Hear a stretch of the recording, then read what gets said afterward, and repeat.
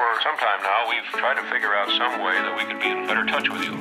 And it's nice to be able to sit down and chat a little bit about some of the things going on. Hi, I'm Doug DeVos. And I'm Steve Van Andel. And we want to welcome you to Open Meeting.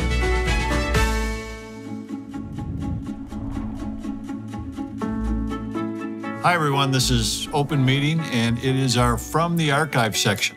And today we're going to listen to a little bit to my a speech that my dad gave. I think it was back in the mid 80s. Mid 80s at Diamond Club, and it's always fun to hear these speeches. So let's give it a shot. We now have new products and services that appeal to people we've never been able to talk to before. We have world class products and to continue those kinds of world class products, we've committed some $10 million for research and development. Interesting little sign of the times. In the first 25 years of Amway, we filed just 14 patent applications from our research and development department. Last year alone, we filed 11 patent applications, almost as many in one year as we did the whole first quarter century in business. What are they saying about us?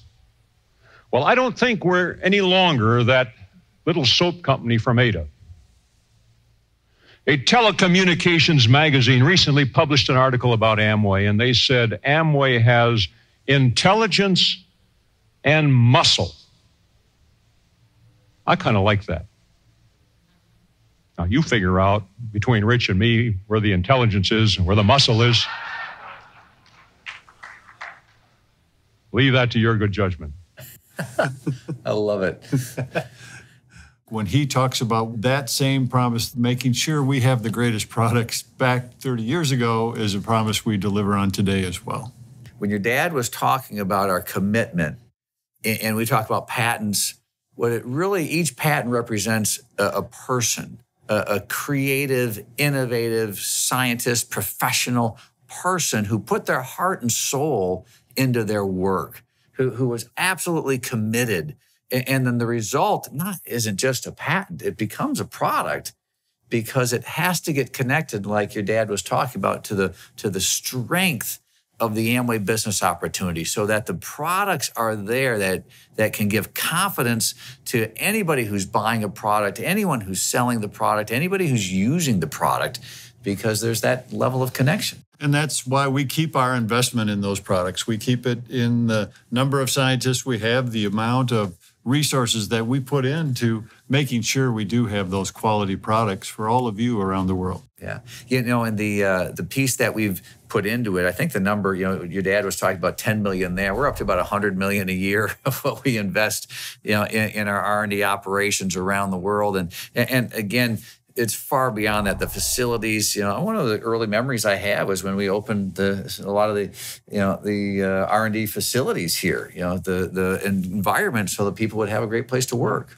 And even beyond that, we've recently invested over 300 million in making sure we have the the plants that manufacture the different products around the world. So our commitment to to those products continues.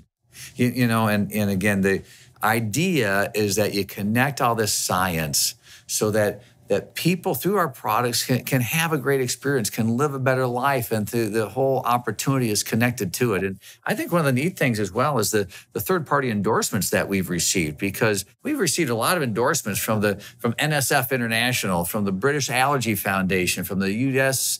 Uh, Environmental Protection Agency. There's a lot of uh, uh, uh, folks kind of in the R&D industry that have a tremendous level of respect for the work that happens here by our team at Amway. And Dad talked a little bit about who's the muscle and who's the intelligence. We're still going to let you figure what.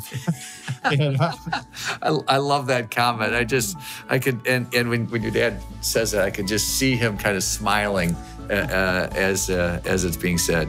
Well, that's it from from the archives. Thanks for for tuning in and watching this segment.